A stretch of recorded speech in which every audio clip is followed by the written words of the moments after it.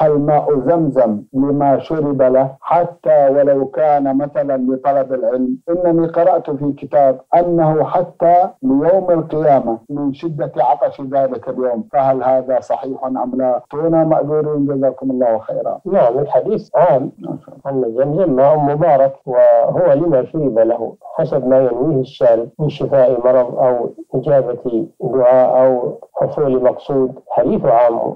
نعم.